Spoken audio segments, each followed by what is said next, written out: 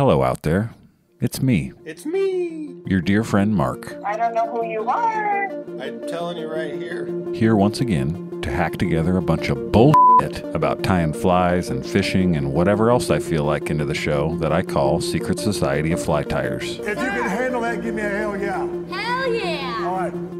There's a natural urge that pretty much every dedicated angler has, and that is to someday make it to Alaska to witness its wild beauty. That's why I interviewed my buddy JD Richey for this episode. He's spent a lot of time there, whipping a jet boat around the waters of the Togiak River, helping anglers live out what is often at the top of their bucket list catching wild salmon in Alaska, alongside hungry grizzly bears doing the same thing. Alaska seems like it could get real quiet too. A cold, moon like landscape, ready to remind us all of how easy we have it back home in our warm 2014 Toyota Priuses. Would I end up finding it unsettling to exist in such a quiet place? So quiet that I can hear my blood pumping and ligaments stretching? I kind of miss my kids saying, Hey dad, look at this already, and I haven't even gotten to Alaska yet. The small man in the glasses who wanted nothing but time. Now just a part of a smashed landscape. Just a piece of the rubble. The quiet in Alaska may also seem kind of ominous and unsettling to me because of the many weird stories that come out of the area. You know there's a community of Yeti or whatever out there.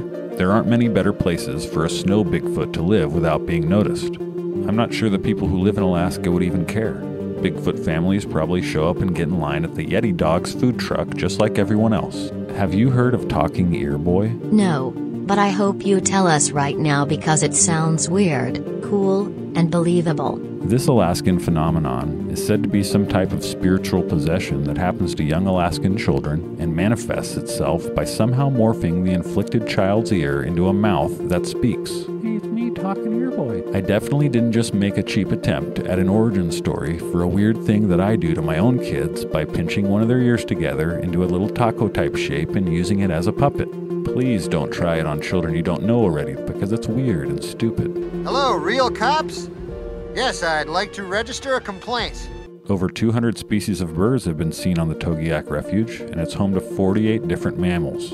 Land mammals include wolves, moose, brown and black bears, coyotes, Canadian lynx, Arctic fox, muskrat, wolverines, red fox, boa constrictors, marmot, beaver, marten, two species of otter, and porcupine, and apparently more because I didn't name off 48 mammals there. My friend and guest today, JD Richey, has spent enough of his time guiding folks that travel there to almost call himself a resident at this point. He may not be some fancy Victorian salmon fly tyer. In fact, he definitely isn't one of those. He is what we refer to as a lifer. He's a true waterman. You might be saying to yourself, why did Matt interview someone who doesn't tie a whole lot of flies on this fly tying podcast when he hasn't interviewed my favorite fly tyer? I don't know the answers.